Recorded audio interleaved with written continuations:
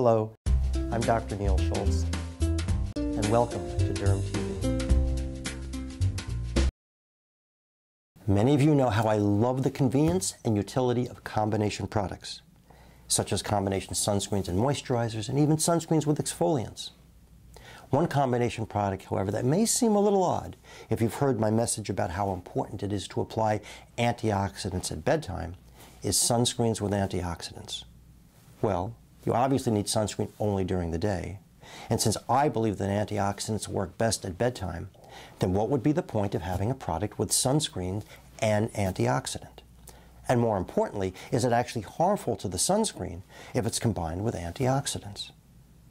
As you recall, the role of antioxidants is to protect the vital parts inside your cells, like DNA, cell membranes, and so on, from high energy compounds like free radicals and ultraviolet energy that inflict very harmful damage inside the cells. To protect your cells, the antioxidants must have time to be absorbed into your cells so they can then absorb the free radical energy and neutralize it. In the process, the antioxidants get destroyed. However, antioxidants on the surface of the skin also absorb and neutralize the sun's ultraviolet rays. In that case, the antioxidant is destroyed before it gets inside your skin cells.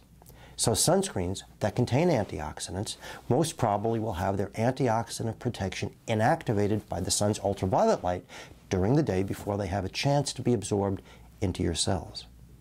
However, that doesn't in any way compromise the sunscreen. And in fact, the antioxidants actually synergize with the sunscreen to give you added protection on the surface of your skin from UVA and UVB.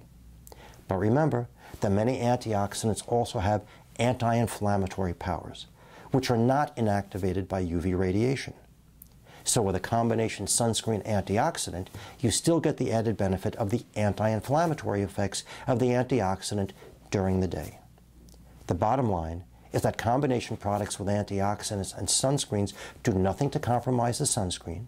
And in fact, the antioxidant may actually increase the potency of the sunscreen since the antioxidant is also helping to absorb and neutralize dangerous ultraviolet light from the sun. And here's the payoff. At the same time, you still get the benefit of the anti-inflammatory power of the antioxidant. I really love combination products. Please join me again at dermtv.com. If you have a question, please send it to me by visiting dermtv.com slash question. I'm Dr. Neal Schultz, and thank you for watching today.